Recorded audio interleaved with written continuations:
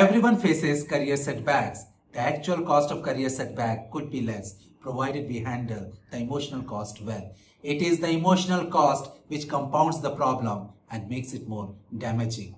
It leaves a mental scar when professionals feel capped, sidelined, demoted or lose their job.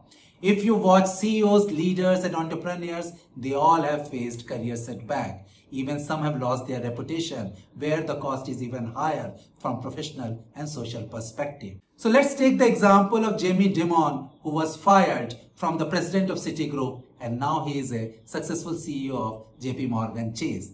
HBR Research analyzed 450 CEO succession from publicly listed company and they found that 35% of ousted CEOs came back to an active executive role within two years of their departure. But 43% effectively ended their career. They could not bounce back from their setback. And the reason is either they blame themselves or blame others, live in the past, never look at the future.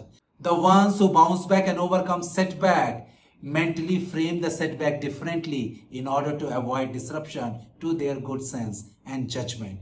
From Stoic philosophers to modern psychologists, they all know that whenever they face any setback, they mentally frame the setback right in order to look at the situation differently. Let me ask you one question. If your manager is asking you to choose which project to work on, where in the first one, there is an 85% chance that your project is going to install at client location. And in the second one, there is a 15% chance that the client will reject the project. Without blinking, you are going to choose the first one. Because if you will work on that project, it is going to add feather to your cap. But those who are rational, they know that the 85% success rate is same as 15% failure. But we humans are not purely rational. We choose the one which sounds attractive and in setback, we imagine the worst. Our work life is full of setbacks.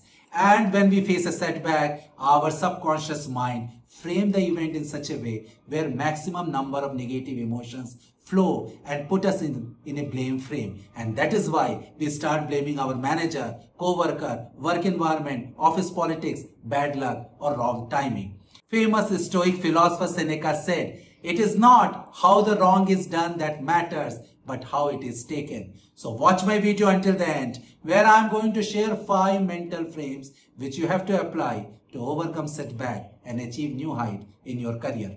And if you have not already liked and subscribed to my channel, which is having more than 100 videos, then please do it. Also watch my other video, I am lucky. You can also get lucky. So as soon as you face any setback, take a pause and depending upon the situation, apply one of the following five mental frames. First, winning frame. Some setbacks are quite serious. Loss of job, loss of reputation, juniors superseding you in promotion, you are transferred to a less important role. Some of your responsibilities are taken away and you landed up in mentally stressful situation and so on. In these situations, you think, why me? Why it is happening to me? Once my manager wanted to hire a candidate who has worked with him in the previous organization. He wanted to take away some of my responsibilities and reduce my sphere of influence. And worse, he was doing it surreptitiously. I had an option to get agitated, angry and take my manager head on. But then I decided I will take this setback as a game which I had to win. I countered his politics by marshalling all my strengths and focus it in a right way. I reached out to all my stakeholders and made them realize that this move is going to be counterproductive for them in order to achieve their own goals. And they should convince my manager against such move. It ran for few months and later on I succeeded.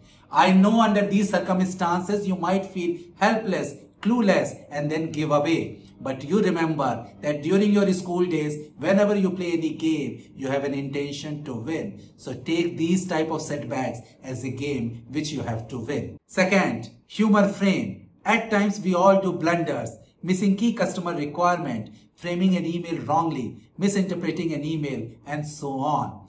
I was in the USA and my newborn daughter had got chicken pox. That was the last day and I had to make a software release to an important customer in Europe. I started the file transfer and with the distracted mind to reach home, I switched off the computer. Next day morning, it was tense. I got scared, apologized and said, I expected the switched off computer to complete the file transfer.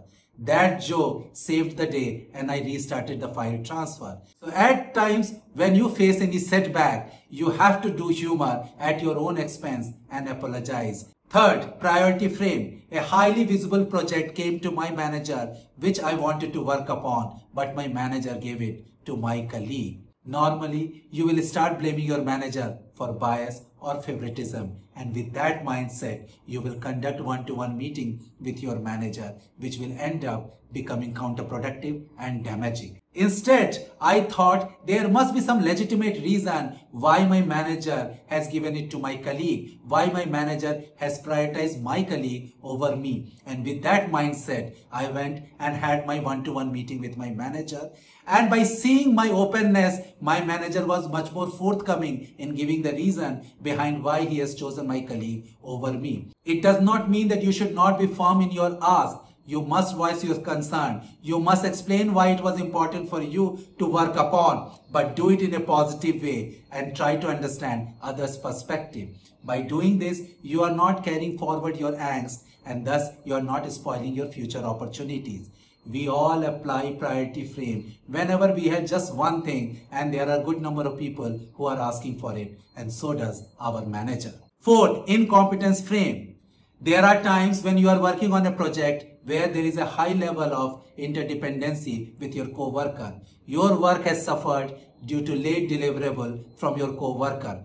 You might become upset, angry, shout at him and also spoil your interpersonal relationship. Instead, you can think that your co-worker is not trained well. Your co-worker is incompetent and might take time to improve. By thinking this way, you are removing your negative emotion. Certainly, you must reach out to your stakeholder and explain the reason without pointing an accusing finger on your coworker. This maturity will earn kudos and you also learn to be vigilant to avoid this last minute goof up with such co-workers. And fifth, testing times frame. There are certain setbacks for which you just cannot do anything. Instead of getting flooded with negative emotions, you should think that nature is testing you and your patience. You need to be resilient during this period. Take care of your mental and physical health and do whatever is in your control. Everyone faces such type of rough patches in their life, but eventually it gets over. And once it gets over, then you will emerge victorious, better and stronger because you have faced such a difficult life experiences. This optimism will take you forward. So professionals, you have seen that whenever you face any setback, apply one of these five mental frame to overcome it and achieve new height in your career. I hope you like this video. Do like, share and subscribe to my channel. Thank you.